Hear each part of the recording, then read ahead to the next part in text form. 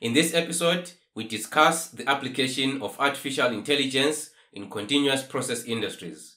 We talk about the use of natural language processing for industrial data management, the application of machine learning in process simulation, and the application of semantic web technologies to reduce industrial data silos. And we also talk about the challenges and future potential of AI in process industries, among many other topics. My guest on this episode is Simon Rogers. Simon is a digital transformation consultant at Yokogawa Electric Corporation in South Korea, where he helps South Korean companies move from industrial automation to industrial autonomy by applying the latest digital technologies, including cloud computing, IIoT, and artificial intelligence, to maximize the use of and value from data. He was previously the Vice President of Digital Solutions at Yokogawa headquarters in Japan. He was also the Managing Director of Yokogawa in the United Kingdom, among many other previous roles in companies such as Honeywell, ABB, and KBC. Quick thank you to our sponsors. This episode is made possible by our friends at HiveMQ, who are providers of an enterprise grade, edge, and cloud based MQTT broker and Opto22 manufacturers of reliable industrial controllers for automation and IIoT applications. So please do check them out to help support this podcast. Welcome to the fourth generation podcast here on Industry4.tv, which is a series of weekly interviews designed to help you learn IIoT from some of the world's leading practitioners. So make sure to subscribe and click on the notification bell to make sure that you never miss any of the interviews. If you find this conversation interesting, please review it with 5 stars on Apple Podcasts, follow on Spotify, and also connect with me on LinkedIn at Kudzai Manditereza. Now, here's my interview with Simon. Simon, thank you so much for joining us uh, on the Fourth Generation podcast. I would like to welcome you to the show. Uh, thank you very much. Pleasure to be here. Awesome. So today I want to talk to you about the application of AI in the continuous process industries. Now, to, to begin, Simon, uh, how important is artificial intelligence for continuous process industries? I, I think it's extremely important for every industry, and um, including the process industries. I think there are uh, un- unlimited use cases of artificial intelligence in the process industries. In the particular process industries which, which I specialize in, which is oil, gas, petrochemicals, the number one priority is process safety. So I think it's good to start there. Um, and there are some great opportunities to improve safety with uh, with AI, um, anom- uh, detecting anomalies, changes in uh, uh, unexpected changes in the operation of the process. Uh, sometimes that could be related to equipment, which is one of the early applications of, of AI in the process industries, detecting faults before they occur, um, but also process problems. So before, again, before the operators might otherwise notice them, before the alarms start go, uh, going off, you can use machine learning to, with you know, pattern recognition, anomaly detection, to determine to, to, to identify when the process is moving outside of its normal operating window. So, you know, I would start with with with safety, but you know, I think another huge challenge for our industry is net zero emissions.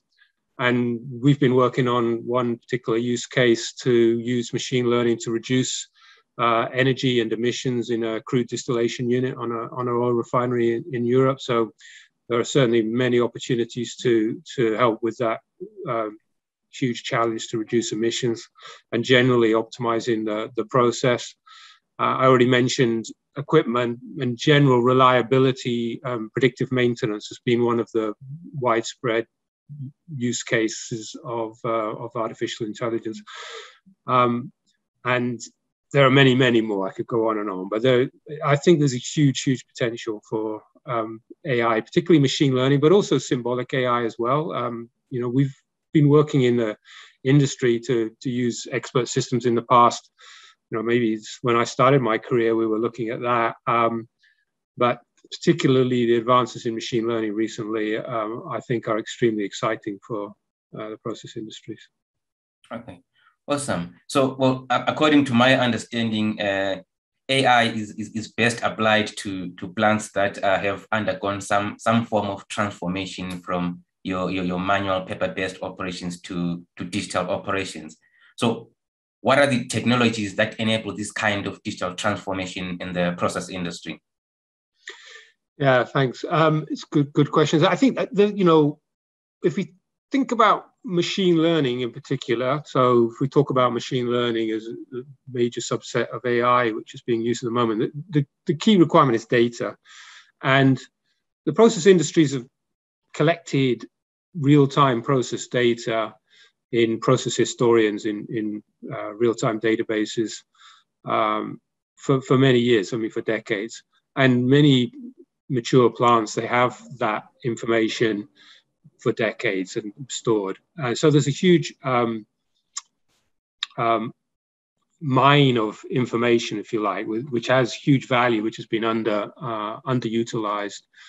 One of the challenges with that data is the quality of the data. So I, I personally think that for many of the use cases, a combination of first principle models, process simulation, and um, a, a data centric approach, a machine learning approach, is a good way to go because when you talk about process data, there are some fundamental laws of thermodynamics and heat material balances which the data should um, comply with. And if you try to create models which fundamentally break those rules, then you, are going to get bad models. You're going to have bad data in, and you, are going to get bad results out. So, I, I think cleaning up that data is a, is a key requirement. Making the data accessible. So historically, those databases are on at the plant level, so they're, they're not in the cloud, and that can, you know, particularly in large organizations, that can limit who can access the data and, and also, of course, the computing power that's available in the cloud and the availability of machine learning platforms and so on. It's much easier to deploy if you're if you're operating in, in the cloud. So I, I think those are, are, are key steps in terms of enabling digital transformation. It's also important to make sure that you build on a good foundation. In general, in automation, there are you know levels of automation starting with your basic instrumentation right which is measuring your sensors which are measuring uh, pressure temperature flow whatever. Um, if you've got bad measurement then everything that you build on that measurement that uses that measurement is, is going to be bad. The same with your control system with your basic control system your distributed control system or SCADA system whatever you're using.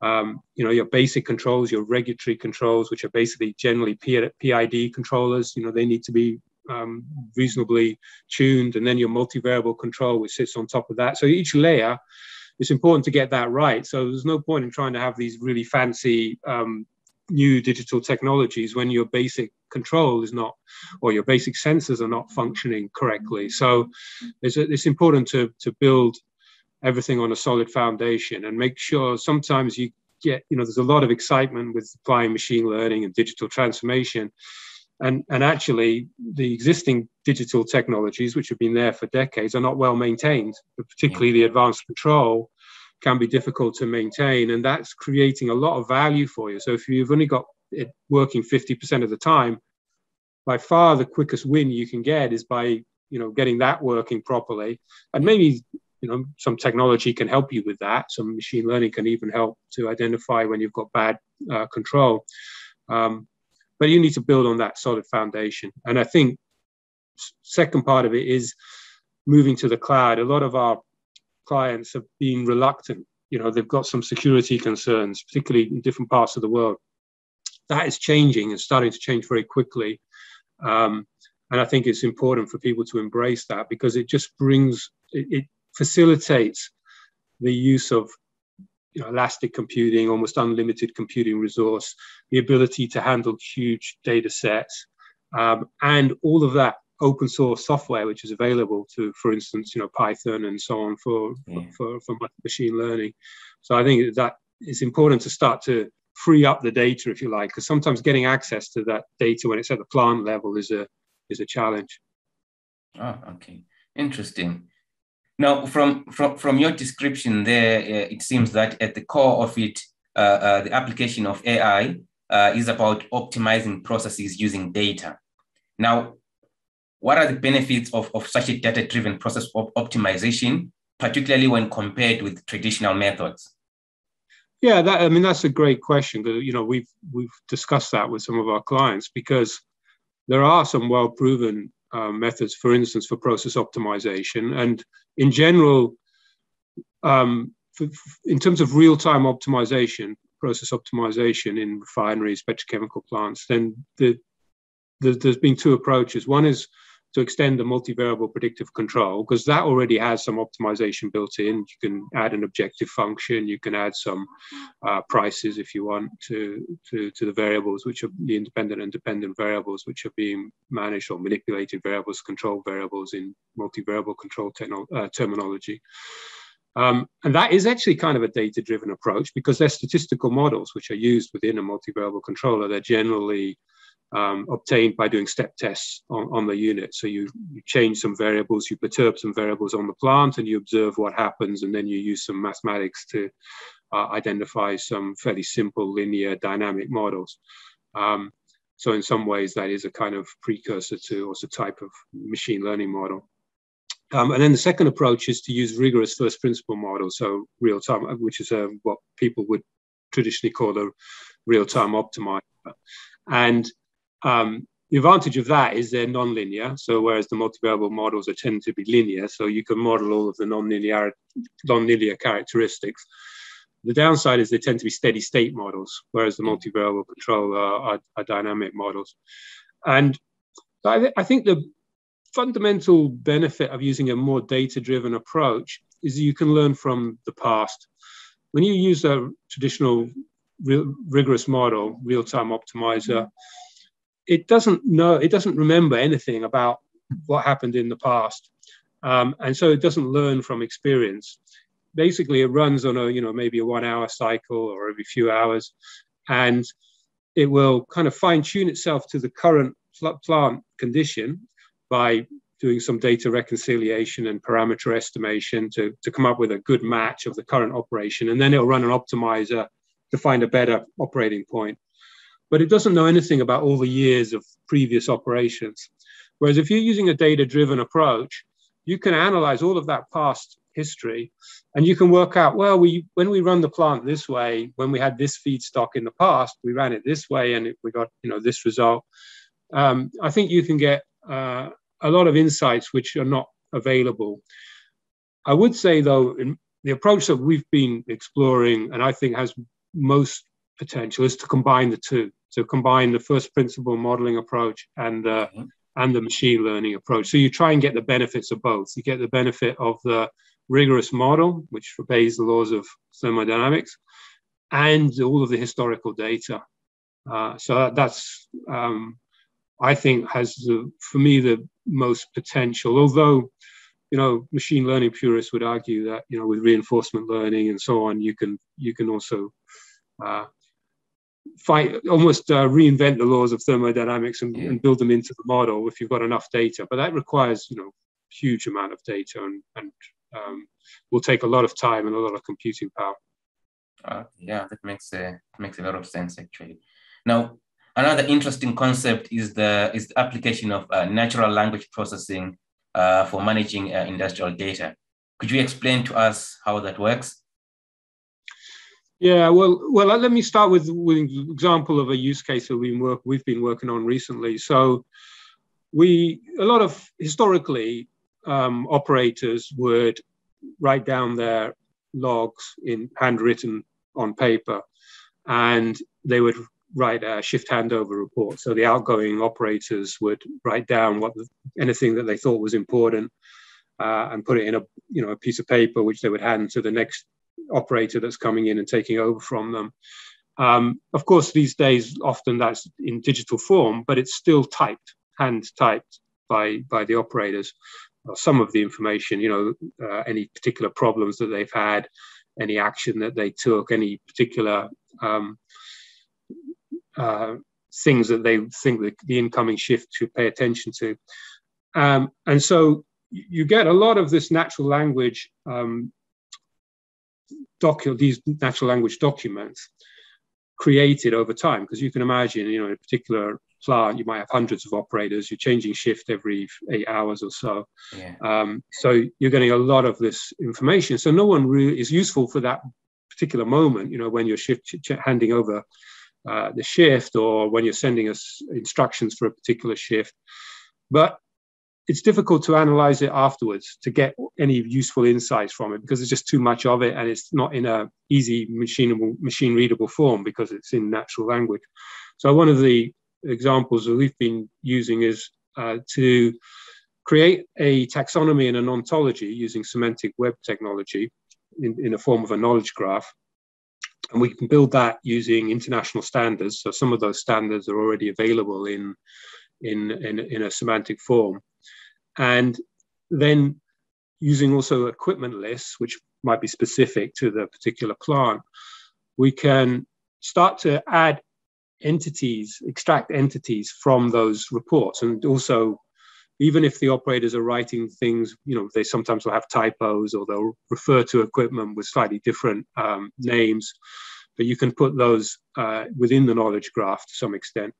Um, so then you can add, you know, a list of all of the equipment that's referred to in a particular report or a particular operating log. You can put any hazards, you know, for instance, like uh, electrical hazards or uh, you know, uh, vapor releases or high temperature vibration, whatever.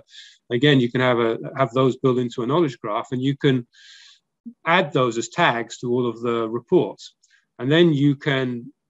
That enables semantic search, so you can easily type. You know, anytime there's been an, um, a heat exchanger problem, you just type that in, in in in a search bar, and it will give you all of the reports that refer to heat exchanger problems or a particular heat exchanger. You know, if you've got a HX101 and it will find all the references to that heat exchanger, even if sometimes there's a dash in between HX and 101, um, or it's in uppercase, lowercase, whatever. And um, and then the other thing you can do is you can start to build um, lists, and you can create um, KPIs associated with those reports. You can say, well, which shifts have are seeing the most problems? Which pieces of equipment have the which types of equipment, which particular items of equipment are referred to more, more frequently in these reports. And then you can um, you can target you know get those the, that equipment with your maintenance teams and your engineering teams to to to uh, uh, to, to resolve any any of those long-standing issues or uh, you know troublesome alarms or control loops or whatever control loops in manual. So this over time makes the plant much safer because you you're identifying what the potential problems are before they become uh, you know major uh, hazards. And, uh, and and can can significantly improve the safety of the plant. Shift handover is a particularly hazardous time uh, for, for for the for the for the plant. So um, you know that's one example. I think in general, um, you know, I, am an engineer, so process engineer. So I tend to focus more on the numbers than on the on the on the words. And I think there's great, you know, great opportunity to apply machine learning as we just discussed in um, to the process data. But but when you come to um, when we've been trying to build production management systems, sometimes they're called integrated manufacturing operations management systems or manufacturing execution systems, but these level three production systems between the enterprise level SAP type systems and the automation systems. One of the things people have always struggled with is, is how to how to model the data because they comprise many different applications. A lot of those uh, legacy applications have their own database, they have their own schemas within that database, um, and they refer to the same objects in different ways and how to integrate all of those applications and integrate all of that data, which is in those different data silos, is a, is a huge challenge.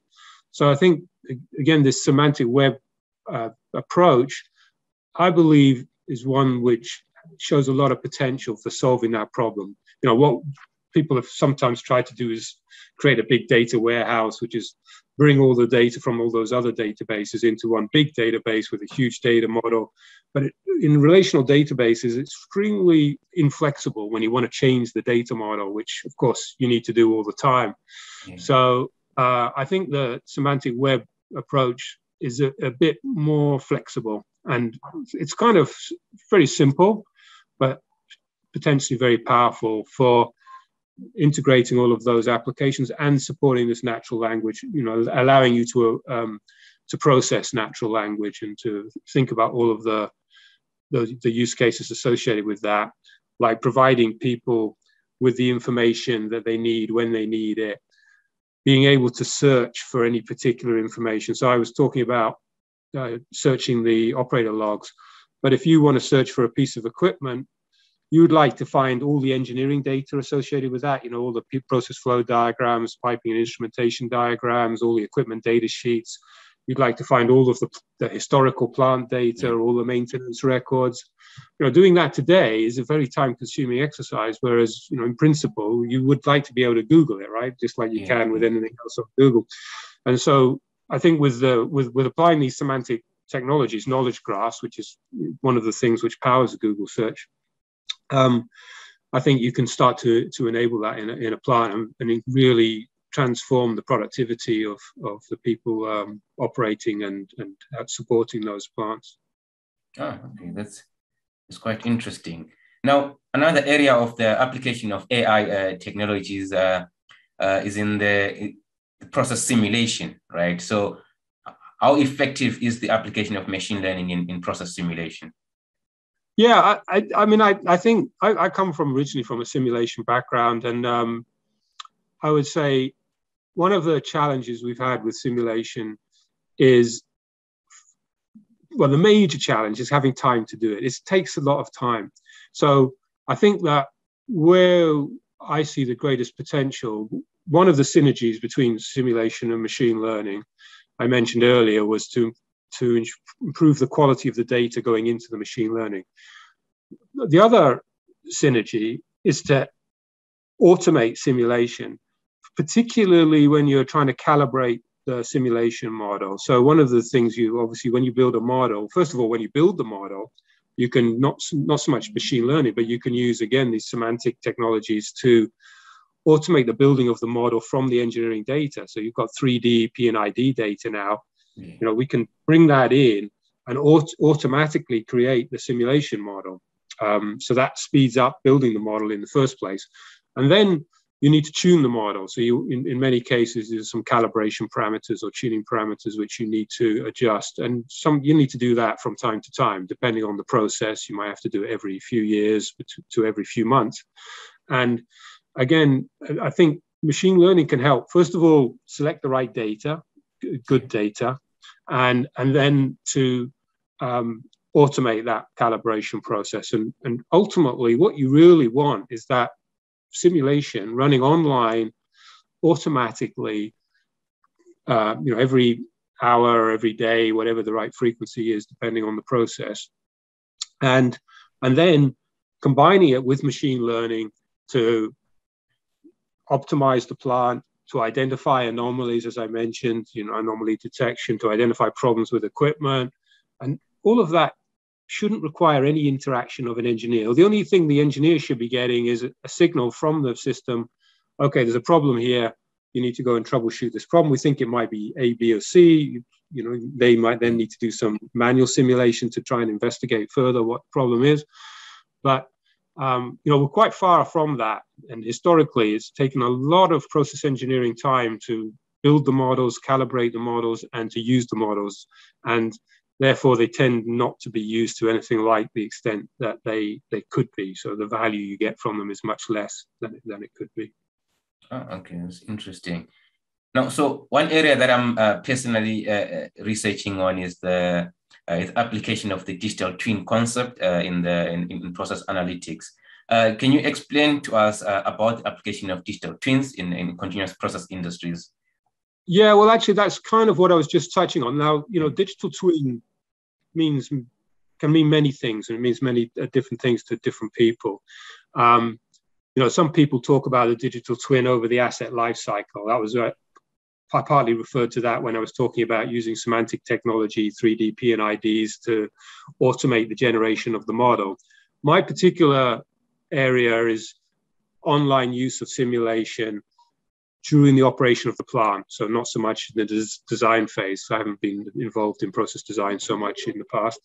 Um, and that that's where you know I, I believe we can automate the running of that simulation and combine the simulation with machine learning. So the digital twin for me should be a combination of first principle simulation models and machine learning running continuously from plant data, which is collected automatically through your process historian, and maybe some lab data coming from your lab systems and analyzer data, and, and running that continuously. And that's at the plant level. But you can also con- conceive of a digital twin for your whole value chain. Because one of the challenges in the process industries, particularly the petrochemical refining industry, is the supply chain is extremely complicated. Getting the feedstock into the plant, operating the plant in the optimum way, getting the right feedstock, first of all, selecting the right feedstock, then getting it to the plant, and then getting the products from the plant to the terminals and from the terminals to the gas stations and to the other customers, chemical customers, and what have you.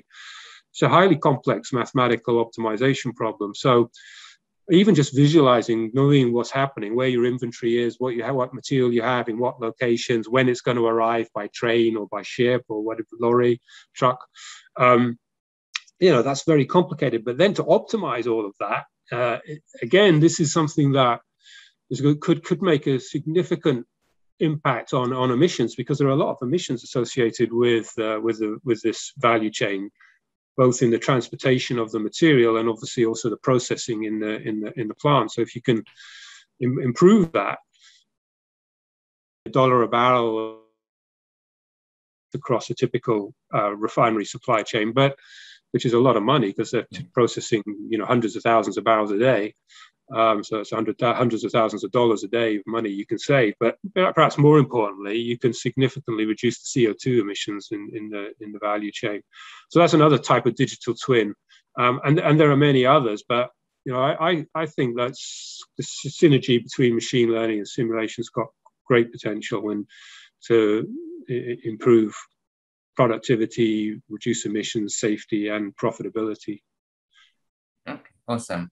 I mean, you have already given us uh, a, a, few uh, use cases. I mean, of uh, of the application of AI in the process industries. Do you perhaps uh, have some common use cases that you think are really compelling that you could uh, that are worth mentioning? Well, I think I think the first one that the simplest one, uh, which is probably what, what I, I, believe why it's been the most prevalent up till now, is predictive maintenance. So, taking you know they've been doing this for a while, um, taking vibration data. So they have these condition monitoring systems for large turbines and compressors. And this applies to any industry. They do it on aircraft as well for aircraft engines. Um, you know, GE were one of the leaders of this. With them, they, they acquired a company called Smart Signal, um, uh, and and um, so processing that data, um, vibration data, and, and other process data can give you advance warning of failures of that of those large machines you know sometimes weeks or even months ahead of that you would otherwise know. And that gives you time to plan your maintenance obviously also avoids having a, a, an unexpected breakdown of the equipment which is a safety issue on a, on a process plant. So you know i think that's one of the compelling use cases and one of the more, more widely proven uh, use cases.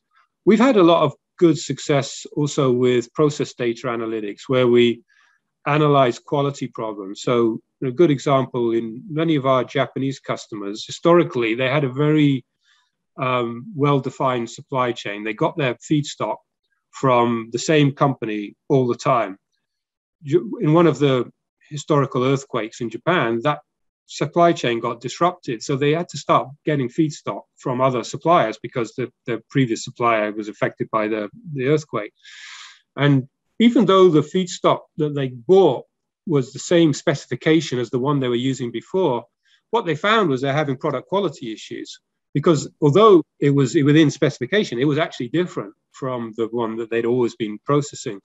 And we use data analytics to help identify what the problems were, whether it was a feedstock quality problem, and then what particular characteristics of the feedstock were, which qualities of the feedstock were, were causing the problems, and and then how to uh, to to uh, adjust the process to, to account for that so that they could eliminate these uh, process quality problems. So we, have run many projects like that to analyze um, the kind of root cause of product quality issues just by analyzing process data using very simple uh, machine learning techniques. So, you know, I think that's another compelling use case.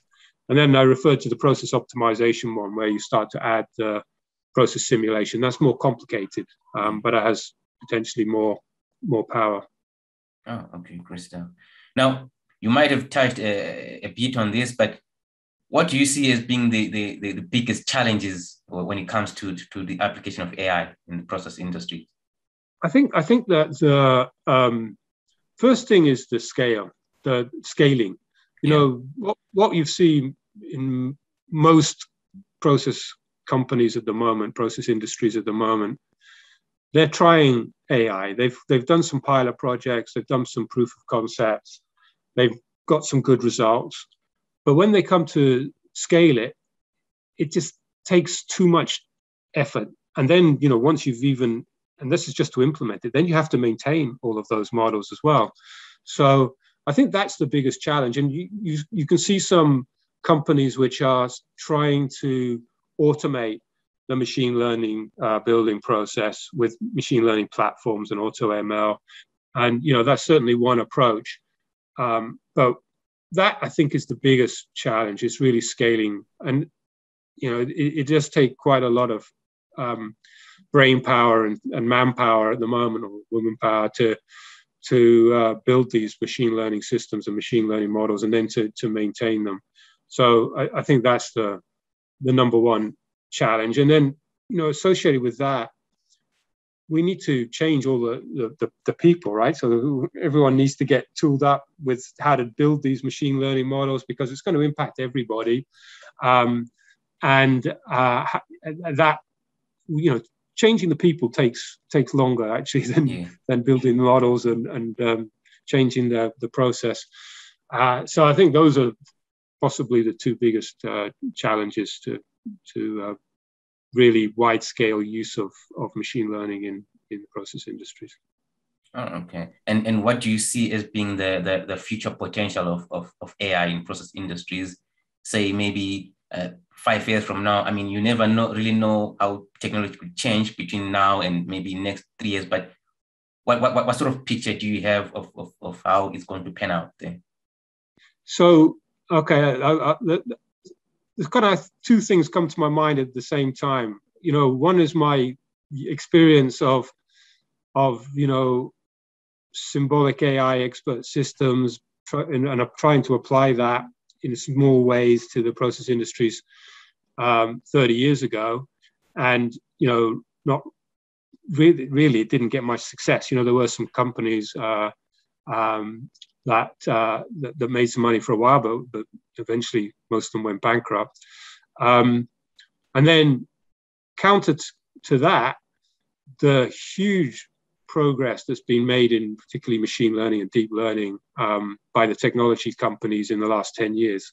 So, you know, you've got, and, and some of the things you've seen from DeepMind with uh, reinforcement learning, mm. um, you know, these are, are amazing achievements that have been made. But at the expense of huge amount of computing power mm. um, and huge amount of data, which those companies have.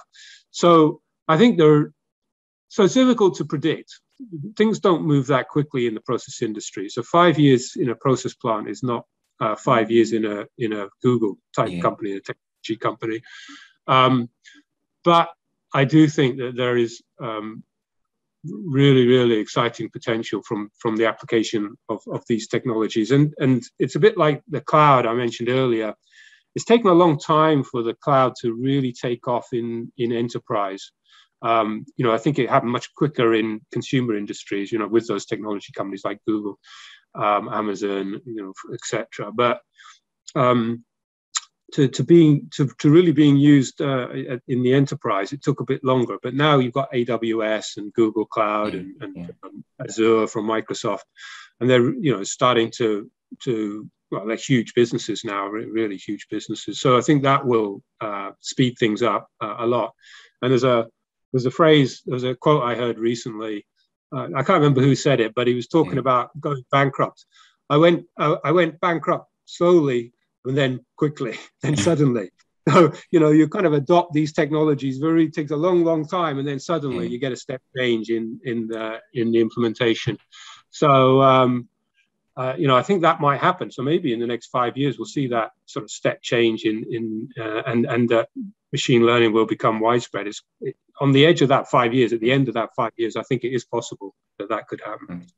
Now, but based on your maybe experience and your analysis, how long do you think it would take for AI to really have an impact, particularly in the process industries? Like if you if you were to take like a wild guess, how long do you think? Well, I think I think I think the uh, the five years is a good um, a good time scale for having a significant impact. You know, really creating significant value. It's already starting to create some value, um, but to to really have a significant impact, I think the next five years will will be a good time frame to become widespread so that it becomes like a mature technology like multivariable control is, advanced control is, then you know that's probably more like 10 years to, for that to happen. I mean, multivariable control took you know probably 10 years to become maybe more than that maybe 20 years to become really widespread in the process industries.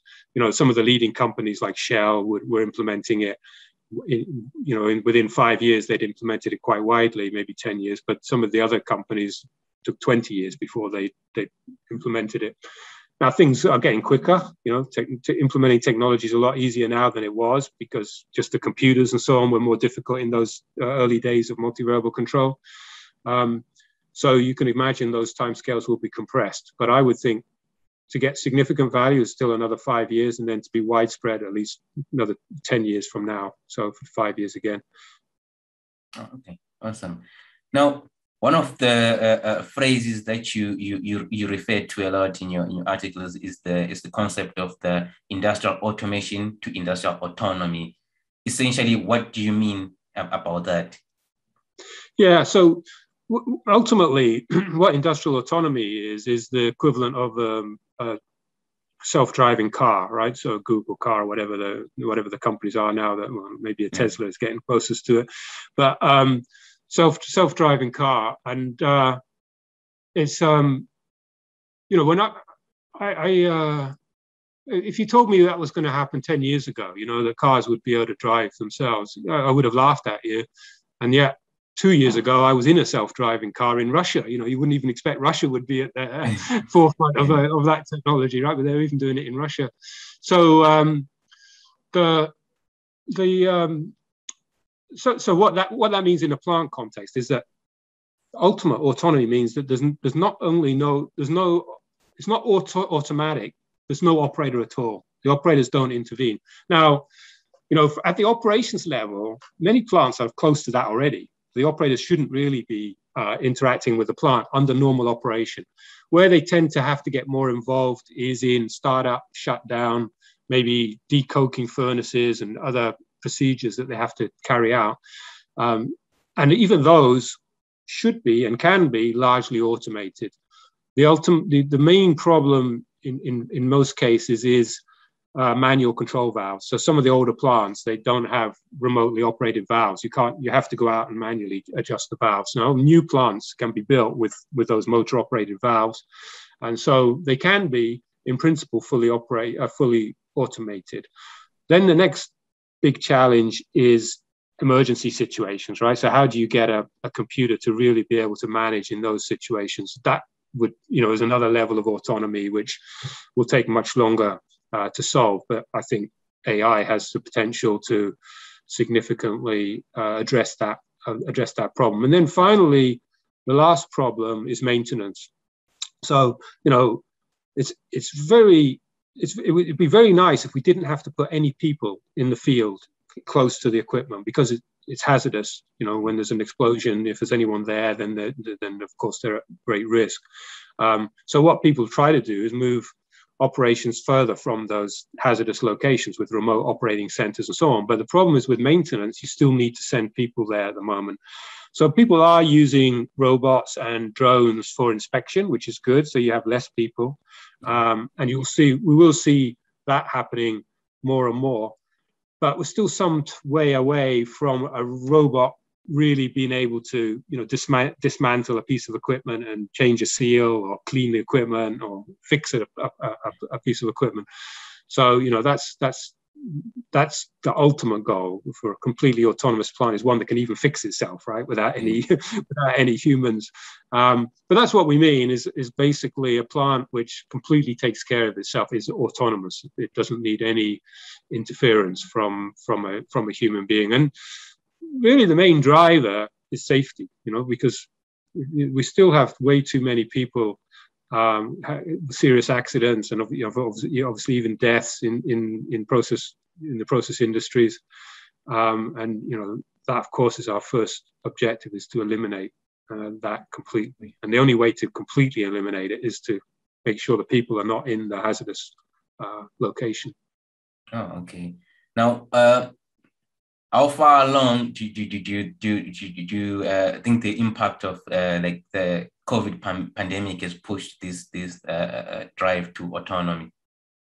Yeah, that's a good question. You know, I hear a lot of people claiming in the technology companies that COVID nineteen and working from home and what have you has has driven progress. I think in our industry it slowed it down because um, there is no doubt there is some productivity losses in, in a there are some things, particularly because a lot of the systems are still at the plant level and cannot be easily remotely accessed, that you have to do at the plant.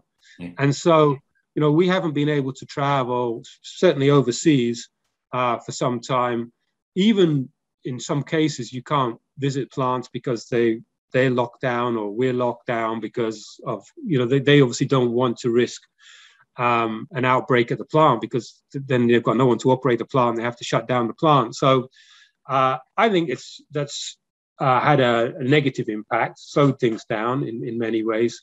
Um, and it has helped a little bit in terms of people being a bit more open to um, video conferencing, video meetings like this one, but also remotely accessing the, the, the plant, uh, you know, using IT. But because uh, they've very hesitant often with that. So I think people it has started to make people think a bit more about moving to the cloud and maybe freeing up access, obviously in a secure way. That's cybersecurity is is always very important. Um, so it has helped from that point of view, but actually practically, I think projects have had to go a bit slower and, and some projects haven't proceeded because people have had to prioritize just keeping the plants working um, with with with you know operators uh, with with with with some people obviously having to be at home or being sick or whatever. The main thing is just keeping the plants running. Oh, okay, all right, that's interesting. Now, uh, in conclusion, um, for those who are not familiar with uh, Yokogawa, uh, could you tell us about the company? And, and then more specifically, could you tell us about uh, more about uh, Yokogawa Digital Solutions? Yeah, so um, Yokogawa Electric Corporation is full title. It's a Japanese headquartered company, it's a multinational company, um, started about 100 years ago.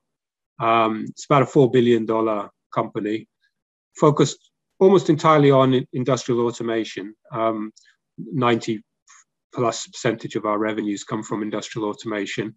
Um, we work in, with many different industries, uh, but I'd say that mo- the the biggest part of our business is um, the oil, gas, petrochemical, and chemical uh, industries. And we started actually as an electric meter company. So um, the founder created a research institution to build um, elect- electric meters at the time when electricity was just being start- started to be introduced to, to, to Japan. Um, and then developed that into sensors, so measuring uh, devices which were applied to industry, and then control systems. We were one of the well, we were first company to introduce a distributed control system in Japan in the mid 70s, uh, and then safety systems, and then we've started to um, over the last few decades we started to extend that to those um, production management systems that I was referring to, the kind of level three systems, advanced control, and then we bought a company called KBC, which I used to work for in the past, which is a simulation and consulting company, particularly in refining petrochemical industry and, and, upstream oil and gas. Um, and uh, so now we have quite a um, full portfolio of digital technologies, the traditional ones like advanced control, multi-variable control, modular procedure automation for doing those automated startups, shutdowns, uh, grade changes, etc. Uh, information systems, um, process historians, and, and uh, other um, operations management uh, systems, asset management systems, and so on. Um, and we also have some of our own machine learning technology. And of course, we also use uh, open source um, machine learning libraries. And we're starting to have good success in applying that technology. And this year, we launched uh, Yokogawa Cloud. Uh, so it's our cloud platform. As I said, our customers have been a little bit slow to adopt the, the cloud, although we did buy a, another company that's been um, providing plant real-time plant data in the cloud from oil and gas oil and gas platforms from chemical companies. They've been doing that for, for 20 years. So, so some companies have been allowing, you know, just using VPN, remote um, uh, VPN access to a process uh, historian or process database, and then allowing supply chain partners to access that that data in the cloud. But we've been doing that for, for 20 years. So yeah, we have a you know widespread portfolio of um, of IT uh, applications in addition to all of our automation and control system uh, systems. Okay. All right, so that brings us to the end of this session. Uh, thank you so much, Simon, for coming on to the show and sharing your insight with us. Well, thank you, Kudzai, for inviting me. It's been a pleasure to talk to you. Thanks for the insightful questions. And um, yeah, I uh, appreciate very much the opportunity.